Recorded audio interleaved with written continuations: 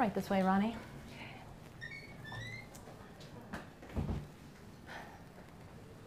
You think this will work? I've had great success in curing social anxiety with this method.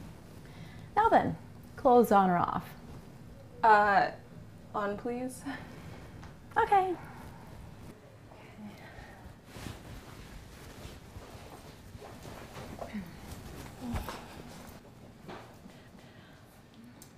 Uh, Now then, we can begin. uh, Doc, What is it? what are you doing? Well, didn't you say clothes on? Well, shouldn't I be laying in the chair? This is not that kind of treatment. But what about my anxiety? Exactly.